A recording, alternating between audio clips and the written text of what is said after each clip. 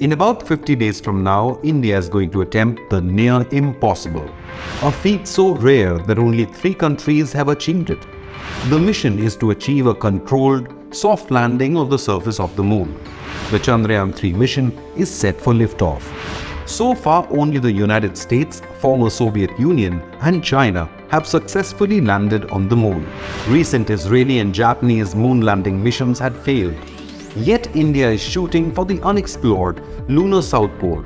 Every major space agency wants to explore this region. It could possibly hold vast amounts of water in permanently shadowed places. This region has the potential to serve as a base for future permanent human presence on the moon. Do like and subscribe for more such news reports.